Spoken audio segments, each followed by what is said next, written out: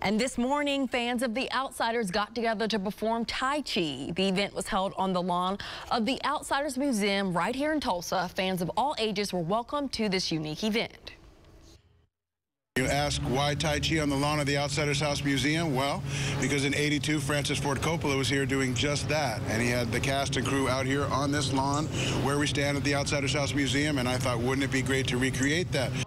The event was free, but donations were welcome. Well,